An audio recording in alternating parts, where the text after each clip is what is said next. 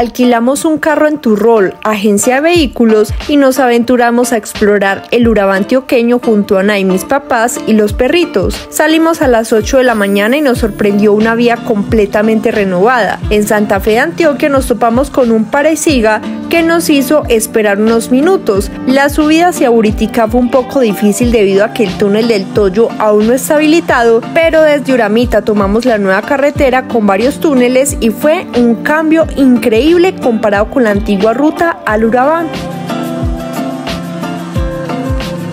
A las 2 de la tarde ya estábamos en Apartado, donde hicimos una parada en el parque de Confenalco para almorzar y disfrutar de la piscina. Luego continuamos hasta Necoclí, donde madrugamos al día siguiente para llevar a los perritos a la playa por primera vez. Caminamos y observamos la situación de los migrantes que cruzan el Darién en su ruta hacia los Estados Unidos. Quisimos visitar Capurganá saliendo desde las 5 de la mañana pero nos comentaron que estaba feo el oleaje, así que decidimos explorar más de Necoclí. Por la tarde disfrutamos de un paseo en lancha en turbo hasta un manglar cercano y por la noche mi mamá celebró mi cumpleaños número 25. Al siguiente día navegamos hasta Bocas del Atrato en turbo, donde convivimos con la comunidad y el hermoso paisaje. Este fue nuestro increíble recorrido por el Urabá. ¿Has visitado esta subregión de Antioquia?